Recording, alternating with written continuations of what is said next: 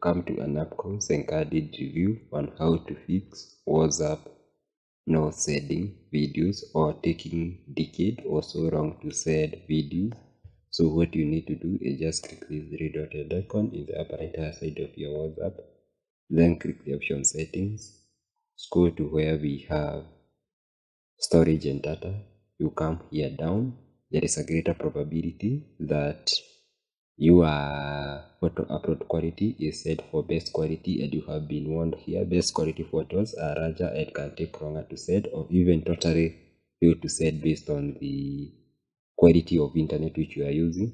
So i can advise you to take it into auto recommend or data save data saver mode. Though in the data saver mode you said raw standard photos but you'll be pretty sure that those photos will be sent or you can just choose the auto recommended mode. Thank you for watching. One party thank don't forget to give the video a thumb up and also a subscription